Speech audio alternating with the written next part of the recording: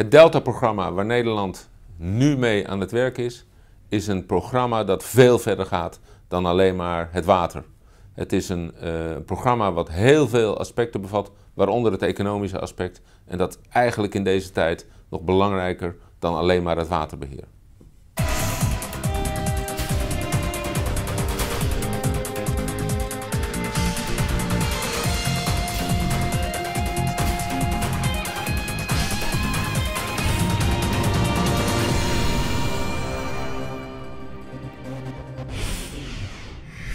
Ja, ik vind het heel erg bijzonder dat ik dit als econoom doe. Hè. Dat, dat is ook wel, het geeft ook wel aan dat het meer is dan waterbouwkunde. Uh, dit is een heel multidisciplinair programma. Het gaat niet alleen over water, het gaat over de delta in al zijn vormen, over de ruimtelijke inrichting, over de uh, natuurwaarden, over de stedelijke ontwikkeling, met name in het beneden rivierengebied, Dordrecht en Rotterdam. Um, en de economische factor is heel erg dominant. Het is eigenlijk, ik zeg wel eens, dat is een heel economisch programma. Want het blijkt, op verschillende manieren is dat zo. Het blijkt dat buitenlandse investeerders, die willen weten of dit land ook op lange termijn veilig blijft. Dat worden, die vragen worden al gesteld. Um, dus het is voor de economie, de internationale economie, is het van heel groot uh, belang. De agrarische sector, laat ik een ander voorbeeld noemen, die voor het grootste deel in het westen van het land zit. Uh, die wil dat uh, we de watervoorziening op orde houden. Want als je niks doet en de droge periodes komen vaker voor, verzeelt Zuidwest-Nederland.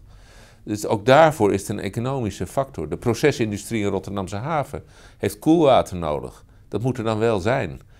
Um, dus dat is op, ook op dat vlak een economische uh, een programma. En dan natuurlijk de investeringen die we doen.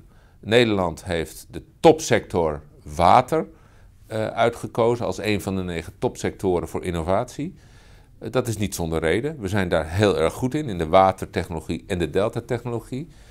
Um, en dit is dus eigenlijk een grote thuismarkt. Je kan de komende jaren nieuwe innovaties in onze delta uitproberen, omdat we daar gaan investeren. En dat is een exportproduct. En die innovaties zie je al. Sensoren in dijken om te meten en te weten wat er in dijken gebeurt. Uh, de zandmotor aan de, aan de Zuid-Hollandse kust.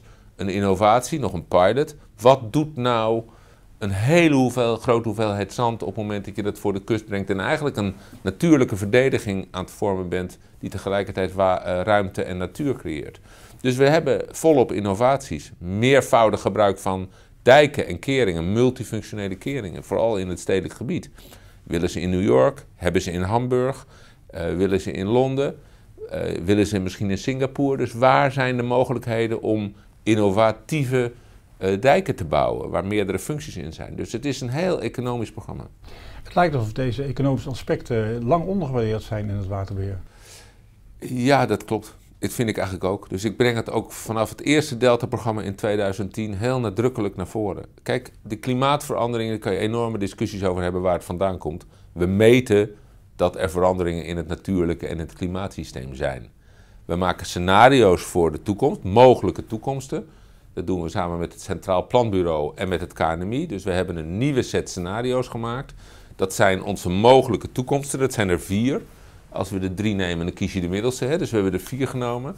Um, uh, dat is allemaal na te lezen. Maar, en, en die gebruiken we om onze maatregelen die komen vanuit het nu te projecteren en zo de strategie te bepalen. Dat is een hele adaptieve strategie.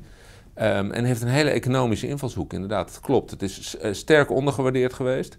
En ik maak het eigenlijk veel economischer dan het ooit geweest is. Als we naar de toekomst kijken, tot uh, 2020 zijn de middelen van het Delta-programma belegd. Uh, daarna is er een kleine 10 miljard beschikbaar. Um, denkt u dat dat voldoende is?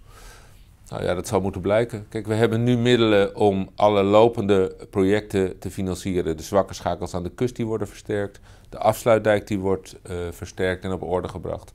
De Maaswerken. Dus dat is allemaal afgefinancierd tot ongeveer 2020. Um, en de werken die daarna komen, die komen voort uit mijn voorstellen. Dan weten we nog niet precies wat het allemaal gaat kosten. Um, maar ja, je hebt een miljard per jaar. Als je dat optelt tot 2050, laten we dat nou eens even als richtsnoer nemen, dan heb je 40 miljard. Ja, als je dat uh, vanaf nu doet, 38 miljard als je heel precies wil zijn. Um, en wij kunnen de maatregelen dan dus programmeren. En dan is het vervolgens een politieke keus. Hoe lang wil je erover doen? als je daar 40 jaar over doet en de politiek vindt dat acceptabel, nou ja, dan kan het. En als de politiek zegt van nou, we willen toch dat het een tandje sneller gaat, dan moet er wat geld bij.